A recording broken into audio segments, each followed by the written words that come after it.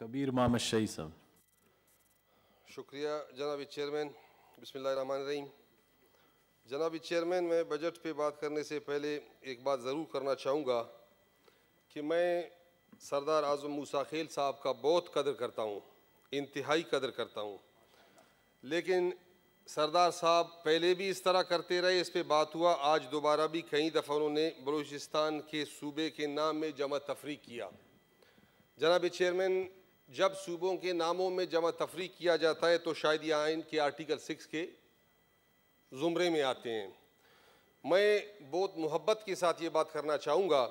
کہ سردار صاحب کی اس بات میں بالکل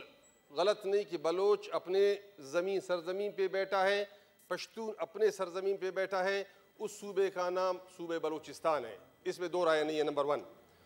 بلوچ سندھ میں بیٹھا ہے وہ سندھ کے لیے اپنے آپ کو قربان کرتا ہے، کہتا ہے سندھ دھرتی۔